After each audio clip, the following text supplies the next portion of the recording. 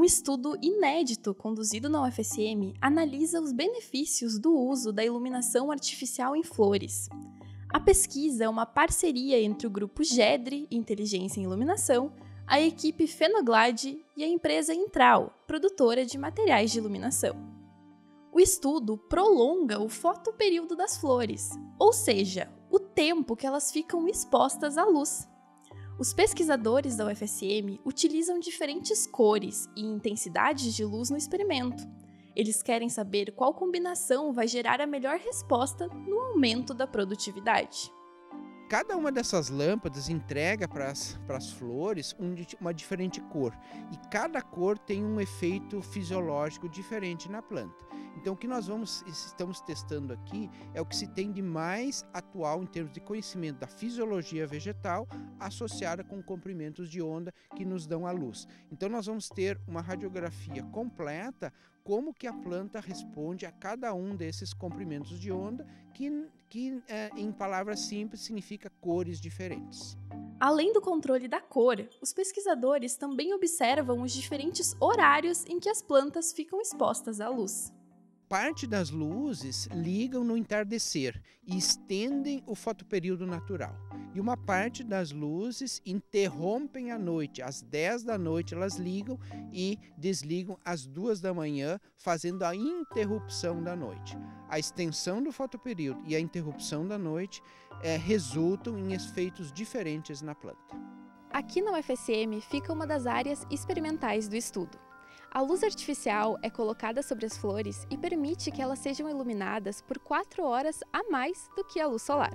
Atualmente, o estudo trabalha com a espécie de flores Statice. Posteriormente, o estudo irá trabalhar também com girassóis. O experimento também é conduzido na propriedade de Charles, em Júlio de Castilhos. O produtor já observa bons resultados. A cultura da Statice, né, ela tem um período uh, de plantio para produção que começa lá em setembro. Uh, mas nós também precisamos de flores aí durante os meses de março e também uh, abril, maio, nessa produção pensando principalmente na, nas datas festivas, né?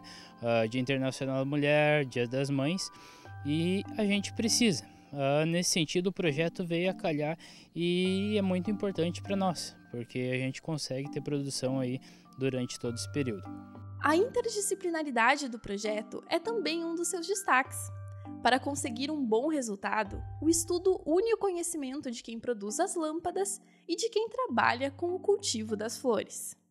Aqui, o nosso manejo nas estátices se dá semanalmente, então as avaliações uh, fenológicas, contagem de folhas, uh, a gente faz três vezes por semana. Além dos cuidados básicos, como irrigação, controle de plantas daninhas, tudo isso. Colheita também, depois avaliação da colheita. Então, cada dia da semana a gente tem uma atividade para fazer aqui no campo. As oportunidades vão muito além do que a gente vê aqui, né? Isso gera diversos estudos, diversas outras dúvidas que depois a gente tem a oportunidade de estudar, né? Renovou alguns conceitos que eu já tinha antes, que eu já tinha estudado anteriormente no técnico, e agora eu consigo aplicar na engenharia junto ao que eu já tinha aprendido. Eu consigo agora ver, tipo, ah, tem, por exemplo, distorções harmônicas na corrente, na tensão, que é a parte de alimentação da, da, das luminárias mesmo. Isso é o que eu estou estudando agora. Então, eu vejo na prática muito o que eu estou vendo agora na, no projeto também. Esses alunos eles estão atuando num projeto de inovação tecnológica, mas com foco uh, em uma aplicação industrial realmente. Então, uh, é muito mais natural a, a, absorção desses alunos pelo mercado de trabalho assim que esse projeto terminar ou que alunos de graduação uh, acabam se formando. O estudo ainda está em fase de execução, mas os pesquisadores já têm boas expectativas sobre a comercialização das lâmpadas. Essas luminárias que nós estamos uh, produzindo, na verdade, elas são uh, muito semelhantes a luminárias LED convencionais, não é? em potências, potências médias, então não são uh, equipamentos muito caros, não é? a parte eletrônica em geral. O que, o que diferencia um pouco a questão do custo são os LEDs utilizados nas luminárias.